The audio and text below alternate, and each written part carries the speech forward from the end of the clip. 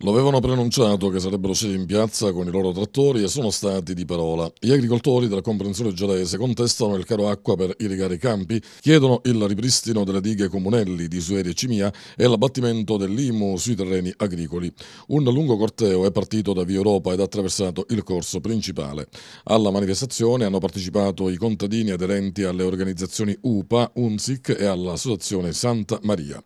Una protesta che segue quella che vede coinvolti da oltre due settimane i lavoratori dell'indotto dell'Eni, i quali chiedono l'avvio del piano di riconversione dello stabilimento, così come concordato il 6 novembre del 2014 al Ministero dello Sviluppo Economico. Il nostro territorio è assillato da gravissimi problemi. L'emergenza stamattina ci porta a, a lottare per la sospensione degli aumenti, la dichiarazione dello stato di crisi,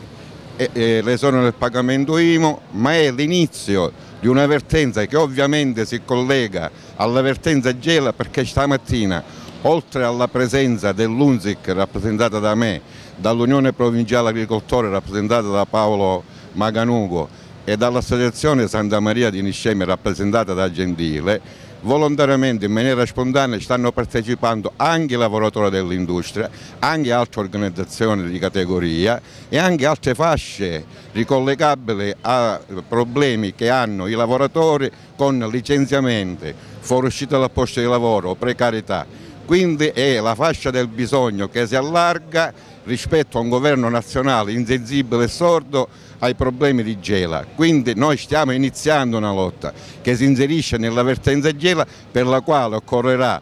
unire tutte le forze sociali, economiche, produttive, istituzionali e politiche affinché si riempia intanto di contenuto questa vertenza Gela e si continua a lottare ci sono dei settori che ormai sono al collasso, il nostro particolarmente perché le nostre istituzioni ormai ci hanno abbandonato e stiamo chiedendo con forza che non venga a morire l'ultimo settore probabilmente trainante di questa città, perché ormai se noi consideriamo l'Eni sta chiudendo, porto non ne abbiamo, turismo non esiste, artigiano non ce n'è più,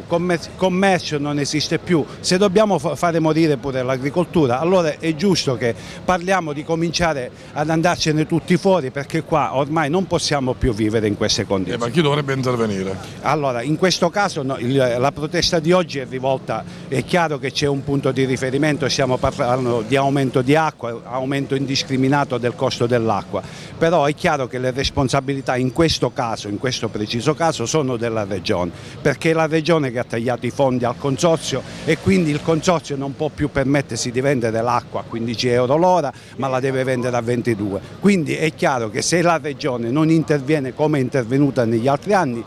il Consorzio sicuramente non può ridimensionare le cose.